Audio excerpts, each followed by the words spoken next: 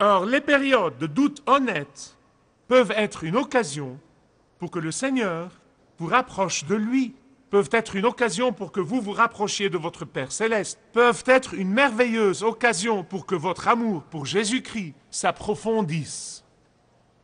Écoutez-moi sur ce point. Si nous ne contrôlons pas notre doute, écoutez-moi attentivement s'il vous plaît, si nous ne contrôlons pas notre doute, si nous ne nous en repentons pas, si nous ne le confessons pas au Seigneur, il peut nous causer beaucoup de dégâts.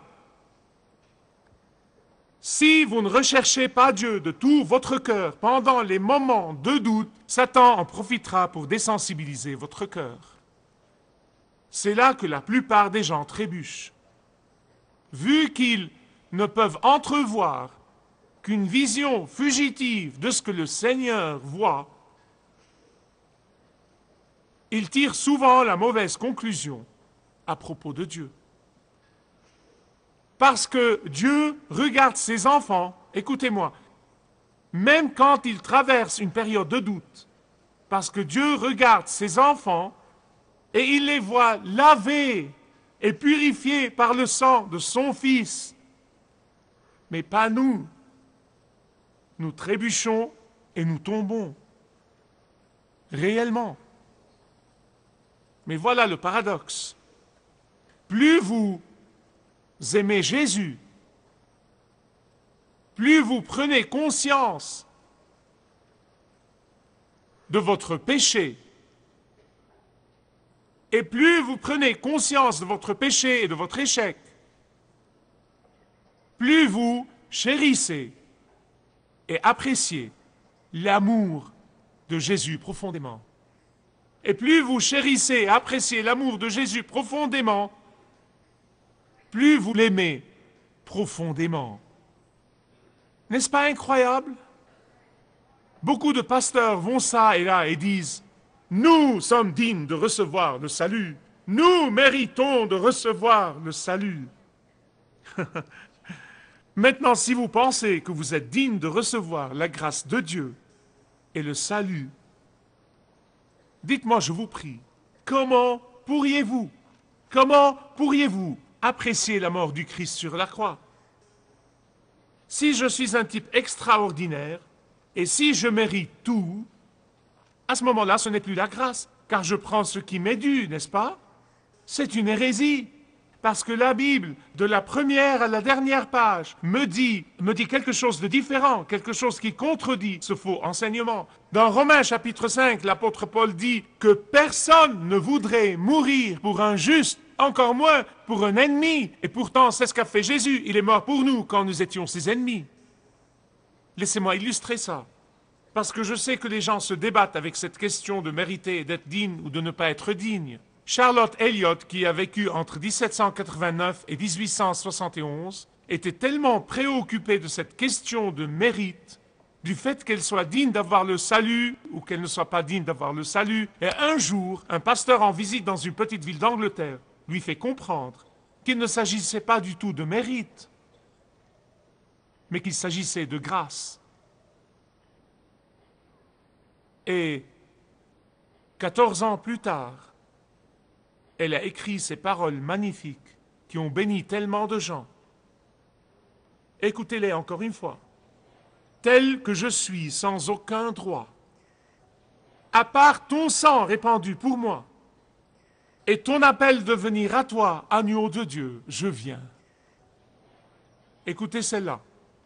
Tel que je suis, quoique agité, de trop de doutes, de trop d'hostilité, dans ma peur j'ai affronté, agneau de Dieu, je viens.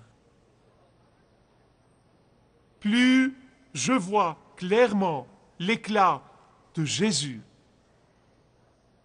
plus je prends conscience de mon péché et de ce que mon péché lui a coûté sur la croix du calvaire, et non pas le contraire. Mais écoutez-moi, je ne veux pas que vous manquiez ce que je vais vous dire. Plus je prends conscience de mon péché, plus je sais que je grandis dans mon amour pour Jésus-Christ. Écoutez-moi, si vous croyez que vous êtes merveilleux et extraordinaire, que vous ne faites pas d'erreur, que vous n'avez pas de défaut, je vous plains. Bonjour, et je sais que certains de vous rient nerveusement parce qu'ils le croient. Savez-vous pourquoi les femmes se procurent des verres grossissants et beaucoup d'éclairage et se regardent de trop près? Il n'y a pas de mal à ça tant qu'elles ne le font pas dans la voiture. Je les vois dans la voiture faisant ça. Il y avait une femme qui faisait ça et l'homme ne voulait pas klaxonner. Il est descendu de sa voiture et le feu tricolore n'arrêtait pas de changer. Il est descendu de sa voiture et il lui a dit Madame, n'y a-t-il pas une couleur qui vous va?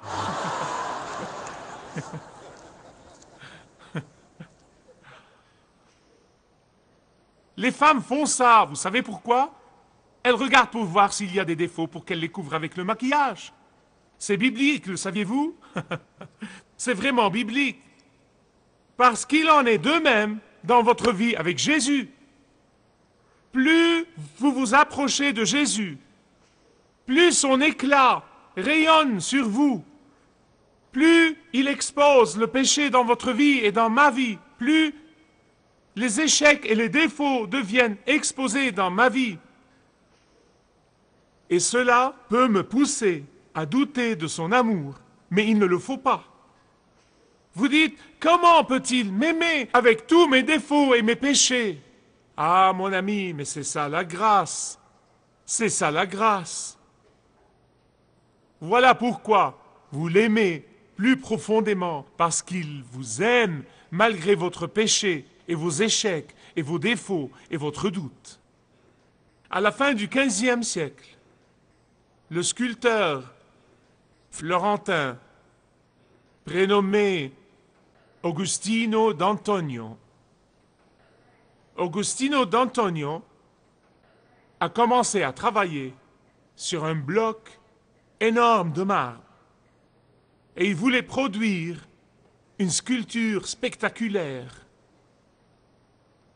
Après quelques tentatives de faire quelque chose avec ce bloc énorme de marbre, il l'a considéré comme sans valeur. Et ce bloc de marbre, devenu défiguré et sans valeur, pour 40 ans, a été laissé pour compte. Puis Michel-Ange, Michel-Ange s'y est intéressé.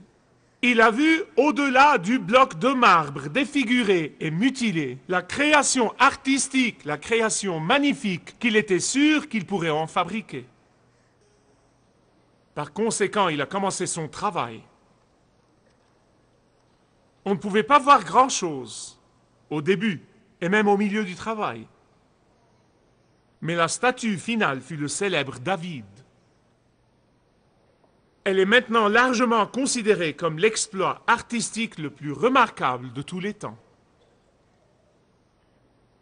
Amis bien-aimés, croyez-moi, Dieu fait de vous et fait de moi ce que personne d'autre ne peut faire, y compris vous, y compris moi. Dieu voit en vous et en moi ce que personne d'autre ne peut voir, y compris vous et moi. Et tout comme Michel-Ange était capable de voir au-delà de l'apparence extérieure d'un bloc de marbre défiguré ce qu'il pouvait finalement en faire, de la même façon le Seigneur est capable de voir au-delà de votre doute, au-delà de votre échec, au-delà de vos défauts. Il voit au-delà du doute coupable et fâcheux et de ses conséquences. Il sait que lui et lui seul peut briser l'emprise du péché sur votre vie et la mienne. Il sait que lui et lui seul peut nous restaurer à son image et à la ressemblance de sa personne. Et comme la silhouette de David était cachée dans le bloc de marbre, ce que le Seigneur fait de vous et fait de moi est caché dans la laideur du doute. Écoutez, le doute peut vous empêcher de voir le visage de Dieu dans les moments de doute. Mais votre identité sanctifiée et justifiée n'est jamais cachée du visage de votre Rédempteur. Le doute peut nous faire sentir la douleur et le chagrin de notre méfiance à l'égard de Dieu. Mais Dieu voit au-delà de notre douleur. Il voit vraiment quelque chose de sublime comme sa personne. Et quand vous soumettez vos doutes à Dieu, il peut les utiliser pour révéler sa personne et son amour pour vous d'une façon nouvelle et incroyable. Voilà pourquoi la Bible nous dit que notre salut est ancré dans l'amour et dans la grâce de Dieu, et non pas dans nos sentiments peu fiables. Voilà pourquoi la Bible nous dit que Dieu nous a acceptés et nous a adoptés pour toujours, et non pas dépendamment de ce que nous ressentons dans notre vie.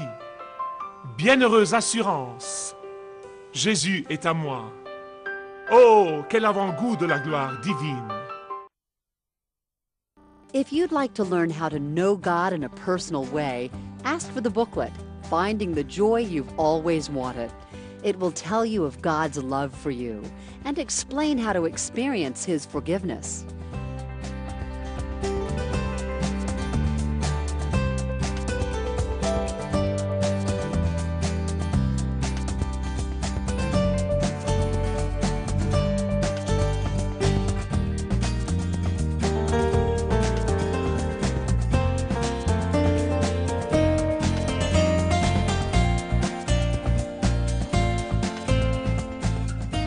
If you have a personal relationship with God and you're interested in walking closer with Him, the booklet Seven Steps in Your Faith Adventure will help guide you into a deeper fellowship with your Heavenly Father.